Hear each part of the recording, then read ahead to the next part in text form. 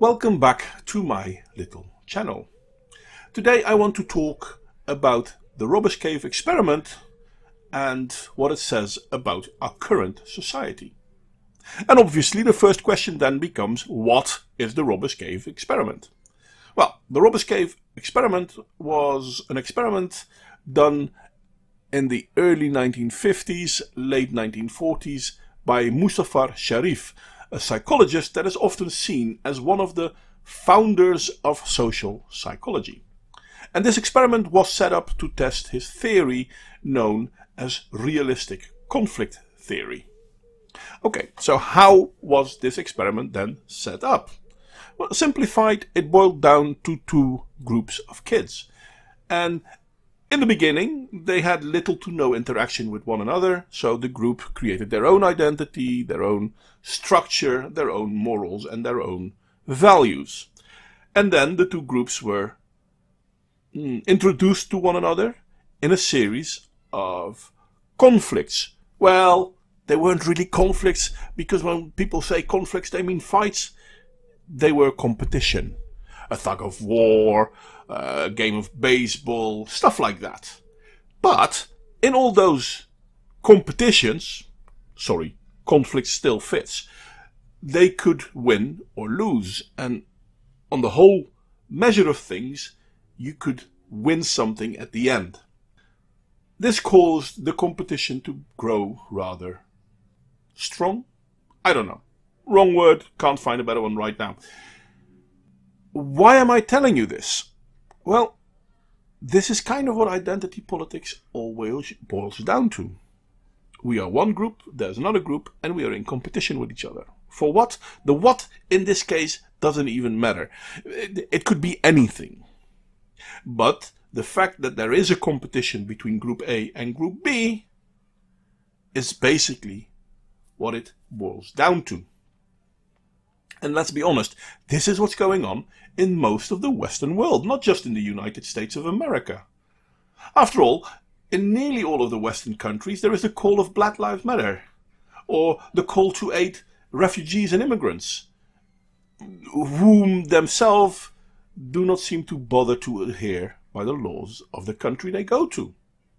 And those that agree with these things can roughly be seen as one group, and those that do not can roughly be seen as the other group. Obviously, there are other dichotomies in society because there are dichotomies based on sexuality or on gender because people constantly try to create dichotomies. It's a divide and conquer metric. It doesn't make sense that people would want to do this, but there are people that seem to be actively seeking to do this. Now, there seems to be little interaction between these groups. If you're part of group A and you disagree with group B, most people will then not seek out people from group B to actively talk about it. And if they do, it's more to berate them and to swear at them, insult them. And because of that, well, people seem to strengthen themselves in their own beliefs. It always boils down to progressive versus conservative or uh, black versus white, but they don't listen to each other. And because there's so little interaction, the us versus them mentality strengthens. Their belief in their being right increases. And this is mostly caused because one group is denying the other group the liberty of speaking and, and sharing their message, sharing their ideas. Which in turn will then cause the other group to feel aggressed against and respond, usually roughly in the same way. And as long as we are being opposed by this, and as long as we are drowning out the speech of those that we oppose, we are strengthening the negative spiral. Eventually, this will always escalate to violence. And for, for this, again, we can look at what's going on in America, what's going on in, in, in lots of countries in Europe. In the Robbers Cave experiment, the researchers running the show needed to stand up to stop physical violence. But what we are seeing happening in a lot of places in the Western world, again, not just in certain states in America, is that the police, the ones that need to intervene when it comes to violence, are told to stand down or actively choose sides, which increases the us versus them mentality and which will increase the violence. Sounds scary to you? It should sound scary because it is. Well, what can be done to end this negative cycle? Yeah, that is rather the kicker. Because it's at one point really simple, but at the other point it's really difficult. It's rather easy to break the cycle by having people work together, by groups working together, aiming themselves at a common goal, getting to know each other and each other's plights.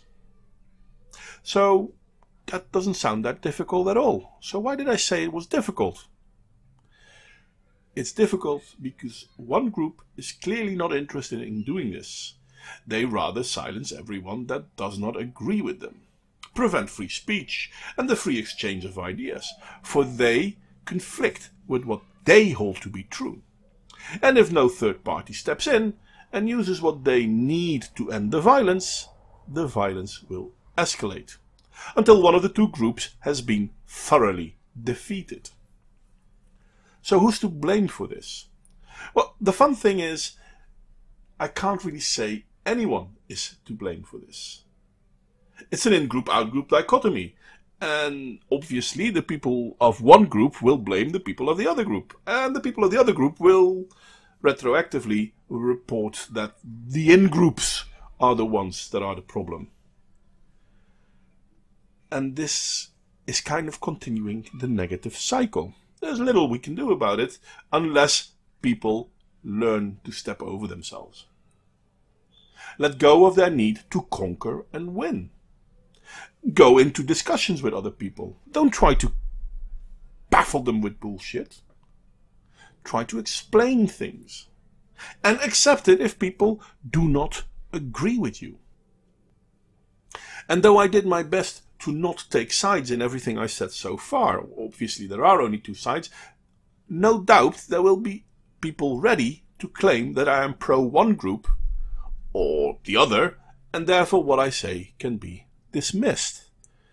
Now, it may be true that I might hold certain beliefs, but I really tried my best to make this talk as neutral as possible because neutrality is what we need. But I'm curious to hear what you think. How do you think this could develop? What could be done to change this? Criticism, as always, is more than welcome, and I look forward to hear your opinions. And I hope to see you all next time.